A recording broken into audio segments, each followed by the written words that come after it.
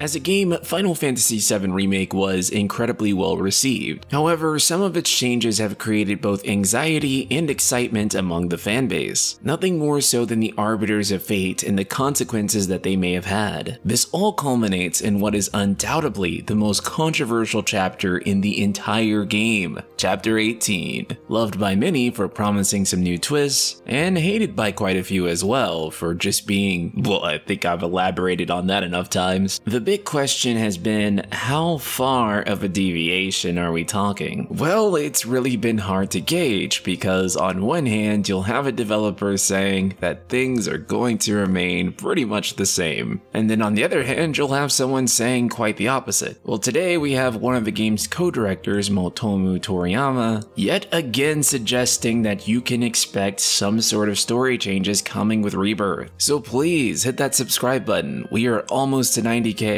and I'd love it if you could push us over the edge. Sitting down with the Square Enix blog, Motomu Toriyama was asked questions about the game. At the end of the interview, he was asked, quote, Thank you for sharing your memories and thoughts of working on Final Fantasy VII Remake. Is there anything you'd like to say to fans who have been reading this whole blog series? With him replying, As it says at the end of the game, the unknown journey will continue, and Cloud and his friends will be on that journey for a while yet. From here on in, the Whispers cannot act to maintain the destined timeline, so fans can look forward to seeing what kind of future awaits the team. Again, with the Whispers trying to protect the original game's timeline, and that timeline being something that is no longer protectable, something that is absolutely not guaranteed anymore. Hence the end tag, the unknown journey will continue. It spells out that the macro of Rebirth story will be quite different than many imagine. Note that he says that the Whispers cannot act to maintain the destined timeline not that they no longer exist. Now that could mean that they completely and utterly no longer exist, or it could just mean that they no longer have the power to act to maintain the destined timeline. In that light, it's sort of left really ambiguous and could probably go either way. The consequences of the game's ending, I feel like, are far too big to ignore. Defeating Destiny Incarnate, resurrecting Zack, changing Stamp from a terrier to a beagle, which is gonna be important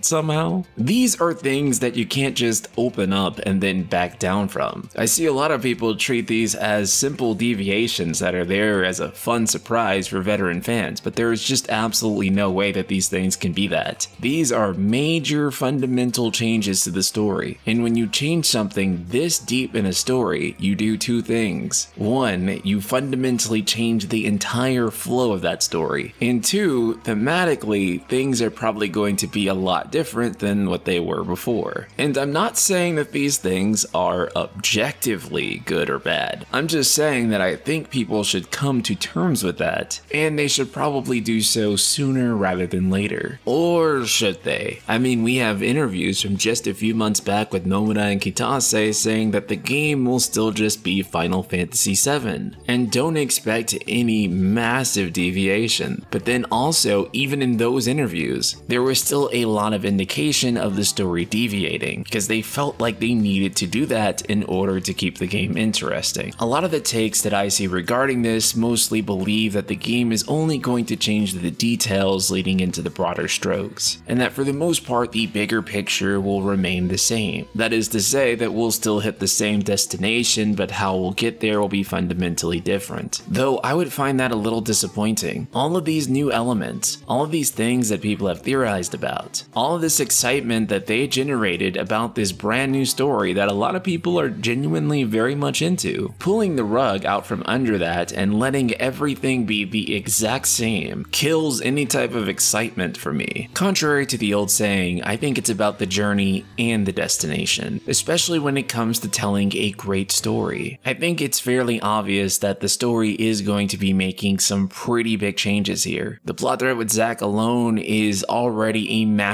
enough deviation that there's no way the story can can still go the same. And if you ask me, when they say that Final Fantasy VII will remain the same, it's kind of an expectation setting. That is to say that they're setting up for even more subversion in the future. The general consensus is that Rebirth will be like Part 1 story, where 80%-ish of the game was mostly faithful. There may be some deviations along the way, and then the ending will take a radical left turn. But I, on the other hand, think to the contrary of that. I think that the new things are going to be so interwoven into the plot that it probably won't even be a percentage wise things have changed. It'll just continue to be a slow divergence. The Evangelion films are probably a great comparison, where the first Eva rebuild is really faithful. And then as we get into the films, there is no way to discuss any percentage of divergence. Eventually, it's just a different thing altogether. So I think in terms of dividing this up on how similar it'll be and how much the same it'll be is almost useless. I think Rebirth will have many familiar parts to it such as Cosmo Canyon and the Nanaki's backstory, as well as the backstories of all of the characters. But aside from that, I think that, well, the unknown journey will continue. Shout out to patron Craig Riley and the rest of the Ultima community.